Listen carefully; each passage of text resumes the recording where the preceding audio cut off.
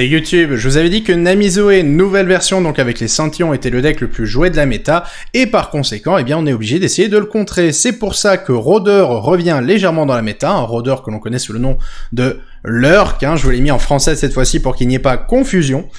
Euh, à ne pas confondre du coup avec les euh, scouts, hein, euh, bref. voilà, ne, confondez pas tout, hein, s'il vous plaît, ne confondez pas tout.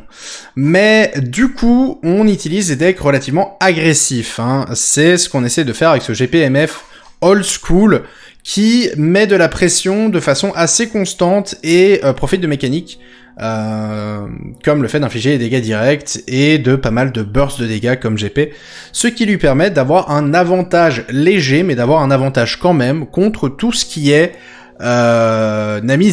Voilà, c'est surtout pour ça que le deck est joué actuellement. Il a un match-up décent dans Dravention. Par contre, là où les choses se compliquent, c'est qu'il a un mauvais match-up dans Bundle Tree. Et ça, ça paraît bête, mais Bundle Tree, l'arbre de Bundle, hein, qui va juste te mettre du coup T1, T2, T3, T4, T5, tout ça, et ben le fait qu'il te mette des cartes à tous les tours et qu'il ait des gestions comme photo de groupe pour un mana, euh, ou nuée de corbeau, euh, bâton pointu et tout le tralala, bah, fait que le deck est extrêmement résistant à votre agression. Euh, et un petit peu comme Roder, du coup, le deck GPMF a un mauvais match-up dans euh, nos chers amis les Bundle Tree, voilà. Du coup, à côté de ça, bah, euh, le reste de la méta est un petit peu inexistant. C'est-à-dire que dans le ladder sur Europe, eh ben, vous allez avoir actuellement du Bundle Tree, du Namizoe et du Dravention. Si vous avez la chance de taper autre chose, bah, vous taperez un Mirror. Si vous tapez encore autre chose, c'est Rôder, c'est Lurk. Et si vous tapez une dernière chose, c'est Popilulu. Mais la diversité n'est pas à son point le plus haut, voire est probablement à son point le plus bas depuis longtemps malgré le fait qu'on ait une extension assez récente et un hotfix. Donc ouais, on est un petit peu... Euh coincé entre le marteau et l'enclume, avec au final Dravention qui en ladder est assez impossible à tuer, et Namizoe qui s'est révélé être un problème après la disparition de Sivir Akshan et d'Azir Relia. Donc euh, ouais, on est dans une sacrée... Euh, c'est les, les, les, poupées russes, hein. on, on, règle un problème et on découvre un autre problème, et on règle un problème et on découvre un autre problème. Mais le problème principal, c'est que certaines cartes sont complètement broken. Hein. Typiquement, le maire de Bundle qui carry tout l'archétype Bundle Tree sur ses épaules à lui tout seul, alors que le reste de l'archétype est au final assez faible. Euh, ou Nami qui est probablement le champion le plus fort du jeu actuellement.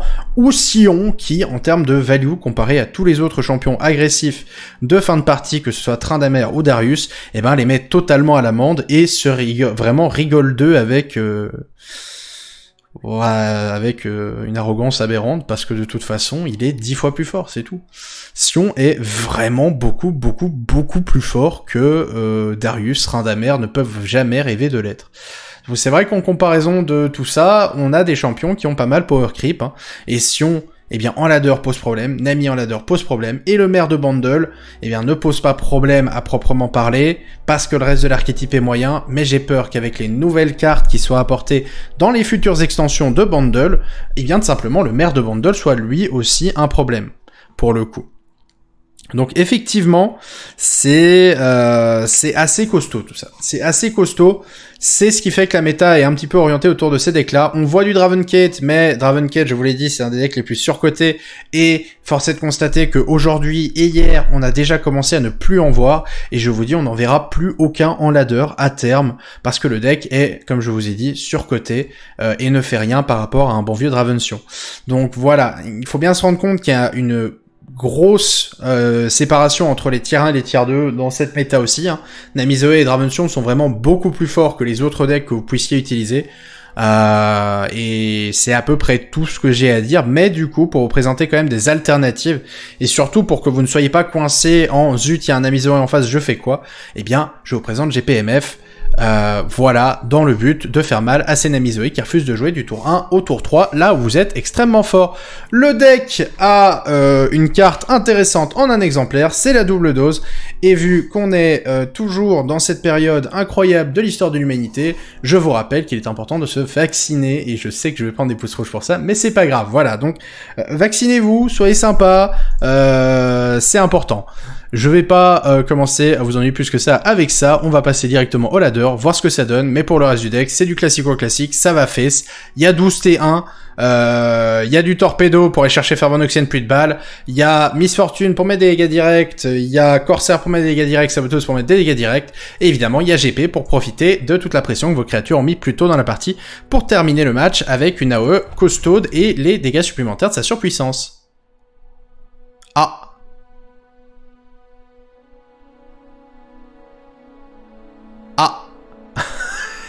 Euh... Bonjour mise à jour Tu étais, très attendu. Qu'est-ce donc que ceci? Arthur Qu'est-ce donc que ceci? Euh, Bon, ok. Euh, très bien. Très bien. Euh... Ok. C'est pas grave, on y retourne, il ne s'est rien passé, on va vacciner de force les adversaires contre le virus du Namizoé.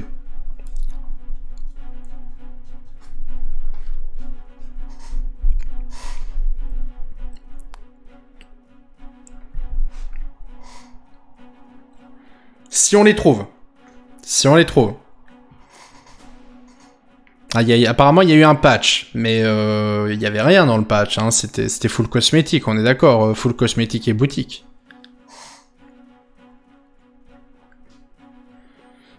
je, vais jouer mes cartes et tout d'un coup, Nami aura été nerf. non, ce n'est pas le cas. Ce n'est pas le cas.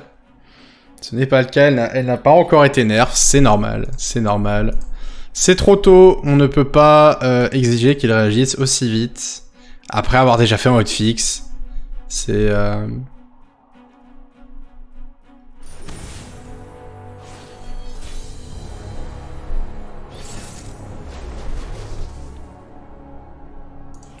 Alors, du coup on est tombé contre Dravension.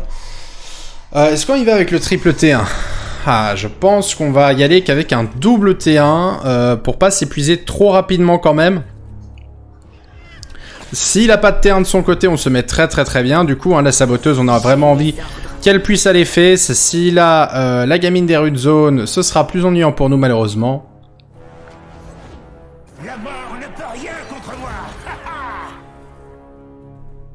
Ok. C'est du gros gâchis du coup pour éviter 3 PV, c'est un grenadier, donc c'est une carte trade pour lui de perdu juste pour deal quelques dégâts supplémentaires. C'est vraiment intéressant pour moi.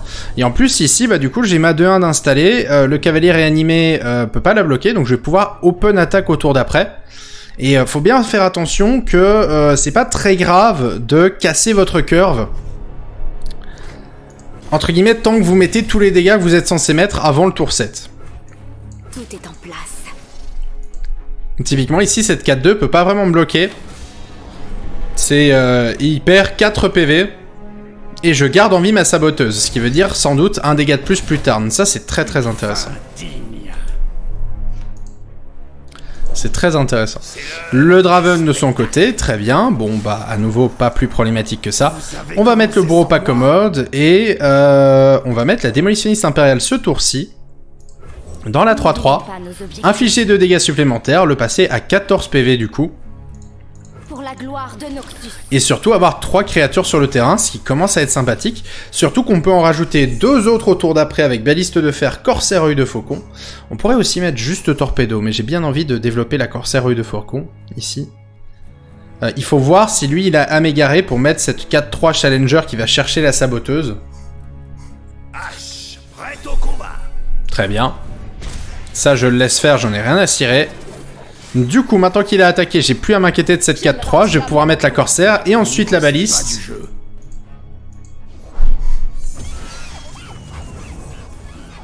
C'est vraiment parfait.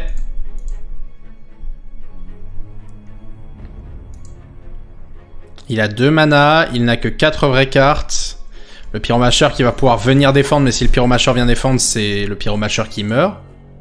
Ça m'arrange.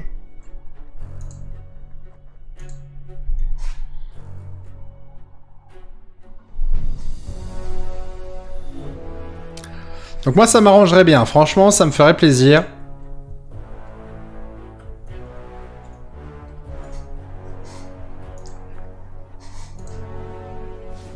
Alors... Il a tir mystique, hein. S'il hésite pour deux mana, c'est qu'il a tir mystique. Il décide de mettre tir mystique dans la saboteuse. Intéressant, il le met pas dans le bureau pas commode, il la met dans la saboteuse. Bon, c'est moins, de, c'est moins de, de, moyens de gestion pour lui. Ouh, la deuxième corsaire, ça c'est très très bien. Et puis le torpedo que je vais pouvoir jouer. Alors il n'a que 5 mana, je sais que le pyromacher c'est gratuit, de toute façon la part de ses réponses sont rapides. Je préfère poser des cartes avant ici. Le recycleur du puisard qui va discard quoi Le cavalier, ok, j'en ai rien à cirer, c'est bien. La pluie de balles de mon côté avec le torpedo qui du coup est inarrêtable à part s'il a un autre tir mystique ici.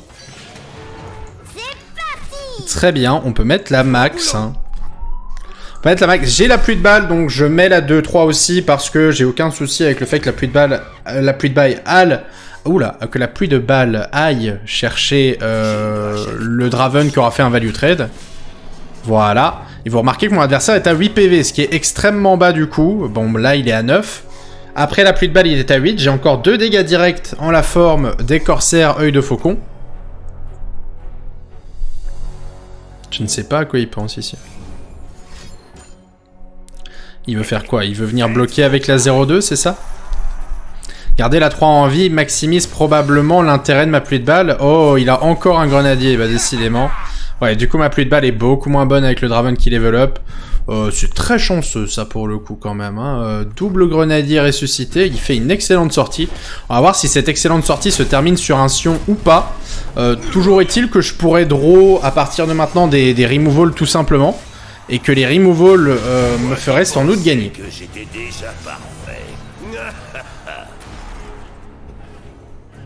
C'est euh, la pluie de balle, la, comment dire, la pluie de balle ferait un dégât, le grenadier ferait un dégât. Ok, la décimation. Oh, pluie de balle, décimation.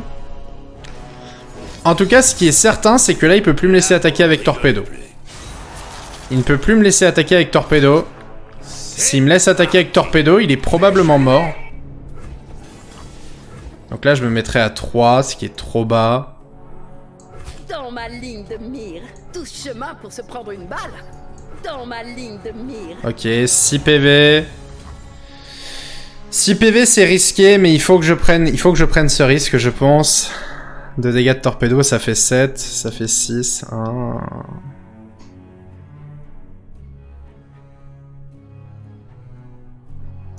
Mhm.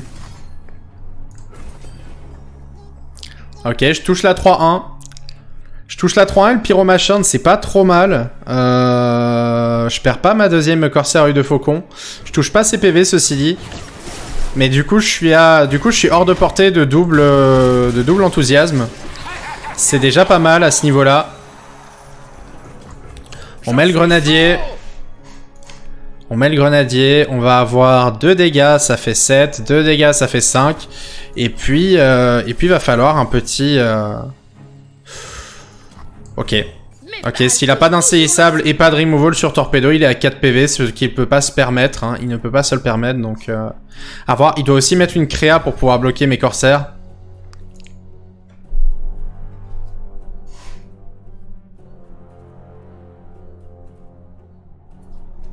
Ok.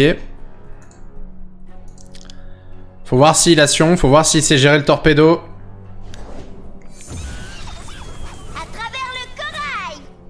Hmm.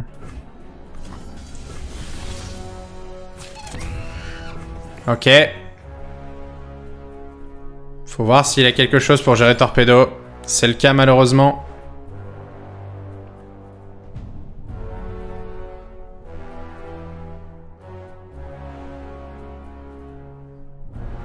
Quel dommage. Aïe aïe c'est la fin de la game. C'est la fin de la game, il avait trop de gestion, hein. vraiment grosse sortie parfaite pour le coup. C'est dommage, à une attaque de plus, j'avais sans doute gagné. Il va falloir que je top deck Ferveur Noxienne ou double dose, double dose ou Ferveur Noxienne, ça fait, ça fait 4 cartes, 4 sur 28, j'ai une chance sur 7 de top decker. Une chance sur 7 de top decker, c'est pas un top deck, du coup c'est terminé. en plus il, mais il avait l'étal sans possession, ce taré. Mais, mais du coup, le top deck décimation aussi l'aurait tué. Qu'ils vont mourir. Bro T'as pas joué au tour de décimation, t'avais l'étal, tu grabes avec le pyromacheur, euh, ou même pas, tu grabes même pas avec le pyroma... Attendez, qu'est-ce que je raconte là, moi? Non, euh, attendez. Si, si, si, double H tournoyante. Hein. Donc il grabe avec le pyromacheur la 1-2, il attaque avec les deux autres, je bloque avec la 1-1, ça fait 7 dégâts, et puis H tournoyante et H tournoyante, ça fait 9. Il avait l'étal. C'est un miss létal de la part de l'adversaire ici. Il aurait mérité de se faire punir. Il aurait mérité de se faire punir, là, c'est dommage. C'est dommage. C'est dommage. Bon, bah, il miss létal, mais il est pas puni. Quelle déception, quelle déception, mais c'est comme ça. C'est, ça arrive, ça arrive. Euh, pas loin, pas loin du but, mais euh, grosse, grosse, grosse sortie de sa part. Hein. Double grenadier, euh, double babouin, Draven dans la curve. Honnêtement, tout ce qui lui a manqué, c'est une âme égarée, le tir mystique qui lui permet de réduire les dégâts de, de, de, de 3 tôt dans la partie, et puis l'enthousiasme qui lui permet de réduire 2 dégâts aussi. Et je me retrouve à, à 2 dégâts, donc s'il lui avait manqué un tir mystique ou un enthousiasme, c'était bon. C'était bon. Un tour en moins, un enthousiasme, un tir mystique, n'importe quoi, et ça aurait pu être bon. Alors, ça, si je vous ai dit, c'est un mauvais match-up. Hein, il y a beaucoup, beaucoup, beaucoup de gestion. Euh, du côté du deck Bundle Tree, on va quand même essayer de s'en tirer. On a les tours impairs, ce qui est toujours relativement positif. Et là, par contre, sur le T1, l'arrière-garde est mieux que la saboteuse.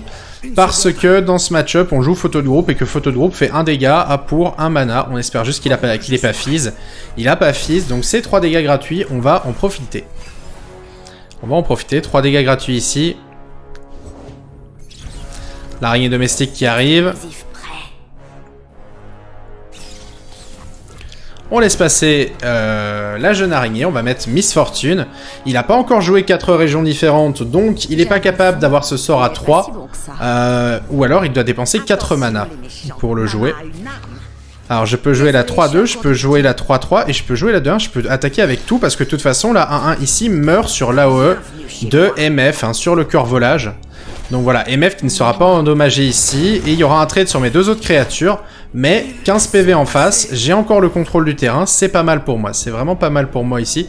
J'ai aussi une bonne main, j'ai une bonne main qui tient un petit peu sur le long terme avec Gangplank, hein, et double Gangplank, c'est même excellent ici. Bon du coup, je, simple Gangplank, pardon, je me suis, euh, emporté. Euh, apparemment. Je vais mettre la corsaire et la baliste. Je vais laisser le voyageur me taper dessus, c'est pas très grave. On attaquera avec MF et la baliste du coup. Et je vais poser GP pour le prochain tour. J'ai posé GP, il euh, n'y a a priori pas de guetteuse arachnoïde dans cet archétype. Donc je peux me permettre de poser GP, d'augmenter les dégâts du cœur volage de MF à A2. Euh, et du coup avec les deux surpuissances, s'il y a une AOE à 2 qui réduit la force de, des bloqueurs adverses, ça va lui faire plutôt mal ici. Il faut mettre MF en dernière. Hop, voilà, pour que le, corps pour que le cœur volage soit à 2. Et voyez qu'il est à 4 PV ici. Alors il m'a discard ma décimation. Hein. Les voyageurs désabusés ont tendance à être chiants contre les decks aggro. Il va taper sur le bâton pointu, très bien. Donc il va être un peu plus haut en PV. Euh, le bâton pointu, pardon, sur le... Sur... Lapsus. Euh, zut, comment ça s'appelle? Euh, sur le baril, voilà. Mais il se retrouve quand même à 6 PV sans le board, alors que j'ai GP, Corsair de Faucon, que j'ai toujours une main assez complète. Donc là, on est bien. Là, on est vraiment bien. On est vraiment bien. Je ne suis pas là pour rigoler. On va pouvoir mettre Torpedo, juste pour l'empêcher d'aller atteindre le Nexus. La ferveur noxienne supplémentaire est vachement sympa. Petit bourreau pas commode. Et on va juste attaquer avec tout ici, il n'y a pas de raison de se gêner. Hein. On va d'abord attaquer avec Torpedo. Hop, hop. Et on va même attaquer avec les deux autres. Et il s'est rendu très bien. Bon bah, on a perdu notre 50-50 et on a gagné notre mauvais match-up. C'était sympa.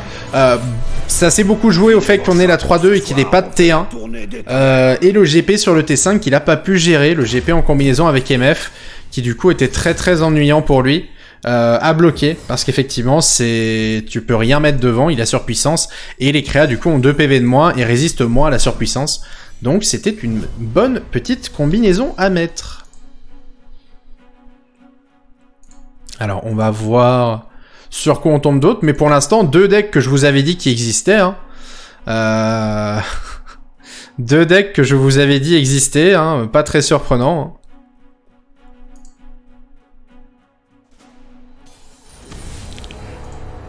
Ah, bah Poppy Lulu. Poppy Lulu, effectivement.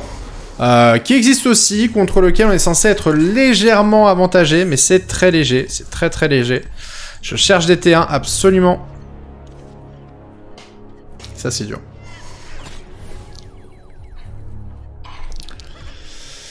Alors pas avoir de T1 quand vous jouez 12 T1, euh... Bon, voilà, bref. C'est pas avoir de T1 quand tu joues 12, T... 12 T1, c'est invraisemblable et c'est très dur à encaisser. Voilà. Et ma main est vraiment dégueulasse, donc là j'ai déjà perdu la partie. Je vais attaquer purement pour réduire son nombre d'attaquants, hein, parce que je peux pas, je peux pas défendre face à lui, je ne peux qu'attaquer et le forcer à bloquer. Mais, euh, mais, mais c'est des jalouses. Regarde Lulu, moi aussi j'ai un fixe. Bonjour. Oh, ouais. Il va être tellement ravi. C'est des jalouses ici, hein. C'est des jalouses du coup avec cet enchaînement de T1, T2, T3 alors que moi qui suis censé avoir une curve plus rapide n'y a même pas eu droit. J'ai pas de puits de balle non plus, j'ai pas de GP, j'ai pas de MF. Euh... Je suis chaud Il va mettre protectrice acier rayonnant sur ce pisseur plus agile pour compléter la main parfaite Non, ok. Ça va, ça s'arrêtera quand même à un moment. On veut le forcer à bloquer, mais pas lui donner de value trade. Il peut tomber à 12 ici. Hein. Euh, après, 12 c'est bas, on a 2 dégâts, on a 2 dégâts, un GP plus une décimation, ça peut être la fin de sa game. Donc il doit essayer de finir maintenant. Si c'était sans risque, ce serait pas une quête. Lui, il doit essayer de finir maintenant, je pense. Je vais jouer GP, même s'il va probablement se faire gérer. Mais euh, s'il essaye de setup autre chose, j'ai le pourparler. Ah, j'aurais pas dû le poser maintenant, en fait. J'aurais pas dû poser GP maintenant. Ah, il, va, il va avoir le rallye en plus. Ah, j'aurais pas dû, pas dû poser GP maintenant. Oh, par contre, il est gentil avec le baril. Il est gentil avec le baril. Hmm, attendez, il est gentil avec le baril, il y a peut-être moyen. Il y a peut-être moyen de survivre. Du coup, il voulait absolument que son pisteur survive. Il voulait absolument que son pisteur survive. Je sais qu'il va se rallier, mais je suis peut-être pas mort ici. Bon, de toute façon, je serai mort au tour d'après. Je sais pas pourquoi je me prends la tête. Le GP est pas level up, donc... Euh... GP est pas level up, donc de toute façon... Euh, par contre, je suis presque certain que l'ordre de ses activations était très mauvaise ici.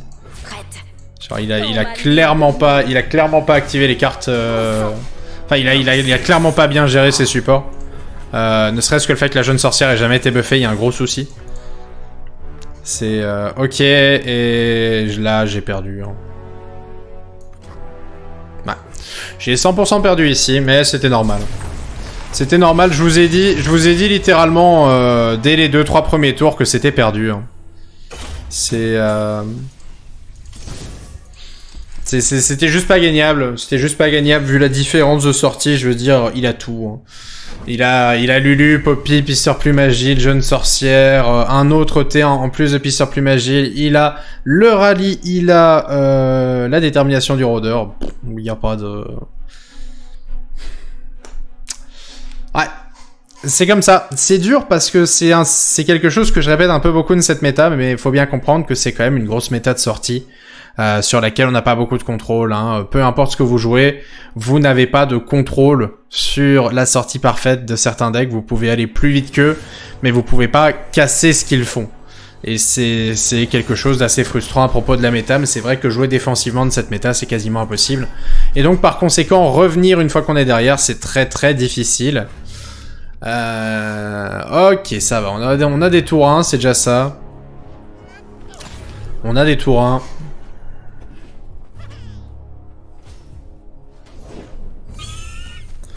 On va mettre la corsaire, comme ça s'il attaque le pisteur meurt.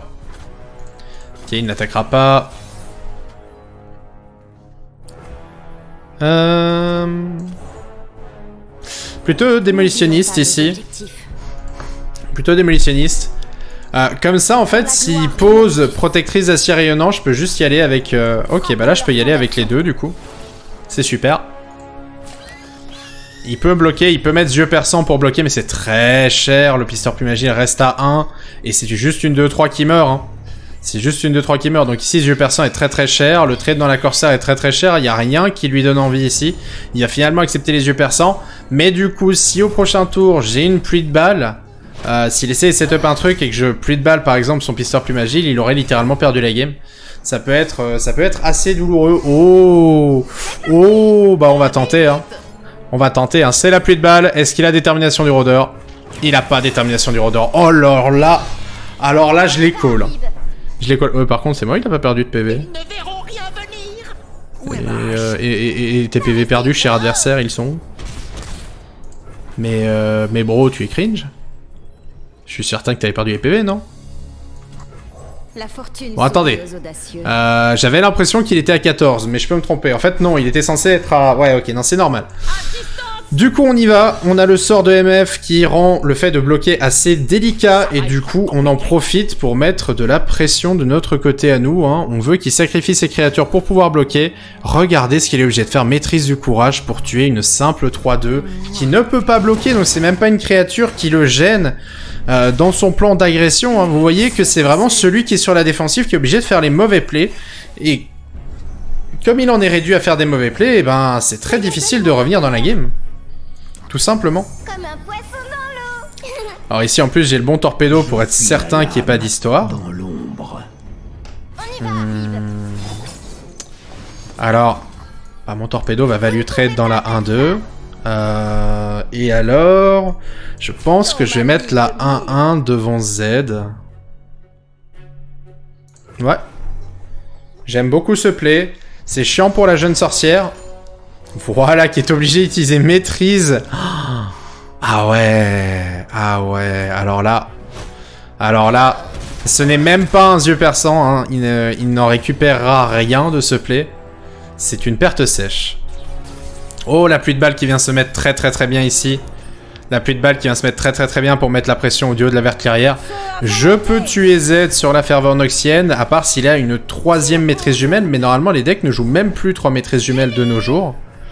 Donc euh, il faudrait littéralement qu'il fasse quelque chose qui n'est plus fait actuellement. On va le mettre à 6, on va mettre le grenadier en plus, on va le forcer à bloquer. Hein. On va le forcer à bloquer en attaquant, et on va garder les 3 mana pour la ferveur noxienne. Et euh, bon, soit il sacrifie à nouveau tout, soit il meurt. Là, il est mort. Il est obligé de mettre Z aussi. Ok, il va juste abandonner. Il sait qu'il peut pas come back. Donc, euh, bon, vous voyez, au final, quasiment le même match-up. Hein. Euh, la différence Lulu-Z a pas été a pas été très importante ici. Vous voyez que le match-up, au final, comme je vous ai dit, est assez proche d'un 50-50. Hein. on est légèrement devant, mais ça se joue à, à 2-3%. Et du coup, bon bah voilà, on, peut les prendre de vitesse, ils peuvent nous prendre de vitesse, et c'est celui qui prend l'autre de vitesse qui gagne la partie euh, de façon assez régulière, hein, c'est quasiment tout le temps la même chose. Et on retombe sur du bundle tree. Donc vous voyez, la fameuse originalité du ladder que je vous avais vanté, hein, euh, deux bundle tree, un Dravention, deux Poppy Lulu, voilà, c'est une, session ladder classique, c'est ce que j'ai en ladder tous les jours littéralement tous les jours. Je vais garder la pluie de balles. La pluie de balles est assez efficace contre Fils Poppy. Je vous ai dit que la regarde de la Légion était très bien parce que la regarde de la Légion ne prend pas euh, photo de groupe. C'est ne prend pas photo de groupe. Ils ne passeront pas. Effectivement, le chat me fait remarquer qu'il n'y a pas d'amis. C'est dommage. C'est ce que je cherchais à contrer. Alors ici, déjà, il a le T1. Déjà, il a le T1, donc là, c'est la cata. Là, c'est la cata. Déjà, déjà, la première chose, il a le T1. C'est catastrophique. C'est direct, voilà, il n'y a pas de... Oh, l'enchaînement est terrible. Ok. Ok, ok, ok. L'enchaînement est terrible, je devine, le T3 c'est merde de bundle? C'est parti comme c'est, hein. Euh. Vous cherchez les ennuis? Je crois qu'ils vous ont trouvé. Parti comme c'est... Ah non, jumeau artilleur. Très bien. Très bien. On va pas sacrifier MF tout de suite, hein. il peut bloquer avec le commando de bundle, il peut bloquer avec les jumeaux artilleurs, et non, il a la photo de groupe. Oh, oh, oh, au secours. Ouais, je vous ai dit que ce match-up là était pas simple, hein. Euh, je vous avais prévenu. Euh... Bon, hein, voilà. Aïe, aïe, aïe, aïe, ce que je prends. Ah, la double dose. Bah écoutez, euh, je pense que je vais double dose 7-1-2. C'est cher, mais comme ça, ça crée pas de chahouette affamée supplémentaire et on se débarrasse de, cette, de ce commando de bundle tout en faisant 4 dégâts. Voilà, voilà, voilà, voilà. Boum. Prends ton petit, prends ton shot de vaccin, boum. Explosion. Prochain tour sera baliste de fer, puis on attaquera avec Miss Fortune et la baliste de fer, l'arnaque étant évidemment qu'on a la mana pour la pluie de balles, et que du coup, avec l'AOE de MF plus la pluie de balles, on sera capable de tuer la chouette et les jumeaux artilleurs qui essayeront de bloquer, euh, ce qui nous permettra de faire potentiellement 1 dégât ça fait 13, 2 dégâts ça fait 12, et 4 dégâts ça le mettrait à 8, ce qui fait que sur décimation et une attaque supplémentaire, on pourrait avoir gagné. Pour ça, il faut que notre adversaire ne fasse pas grand chose des 3 mana restants, et je sais pas pourquoi il hésite tellement sur la carte à récupérer sur euh, préparation antique. Voilà, vous voyez la chouette dont je vous ai parlé. Le télescope ambulant qui ne change pas euh, notre plan de jeu du coup avec la baliste, vu qu'il ne bloquera pas. Il faudra espérer que, faudra espérer que la pluie de balles tape bien. Faudra espérer que la pluie de balles tape bien. Euh, du coup, baliste de fer, let's go.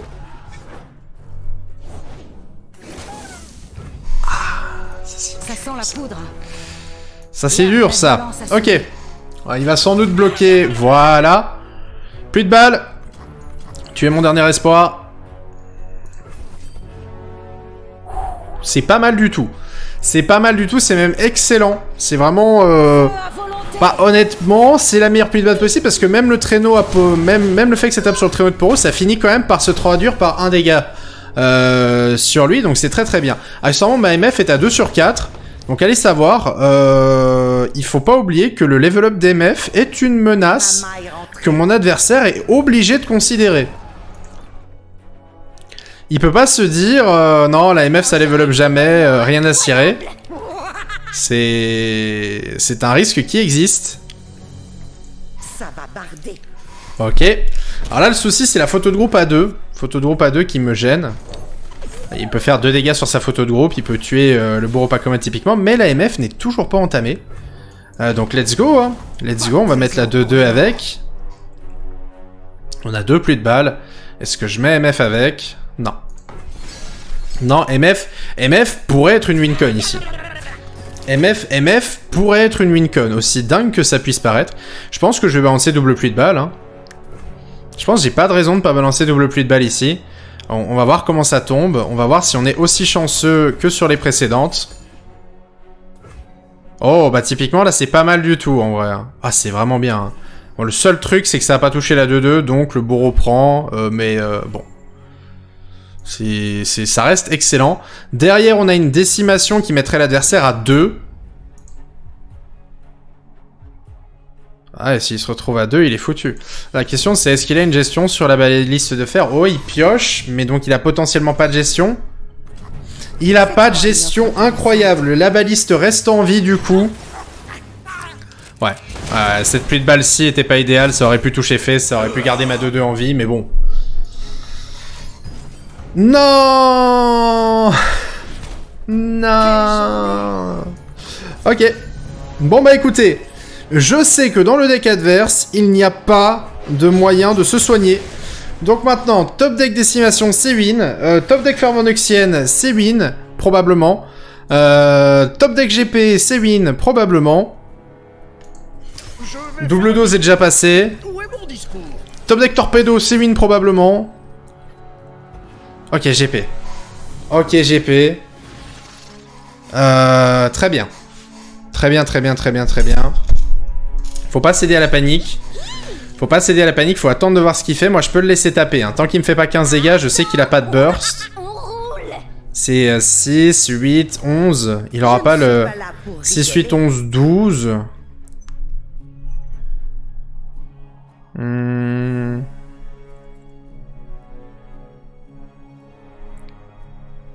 Ok. À part, à part triple bâton pointu, il peut pas me... À part triple bâton pointu, il peut pas me tuer ici. J'oublie rarement et je ne pardonne jamais.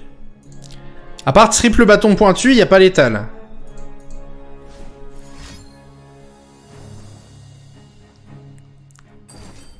Ok, photo de groupe, il met la balise de fer à 1 PV.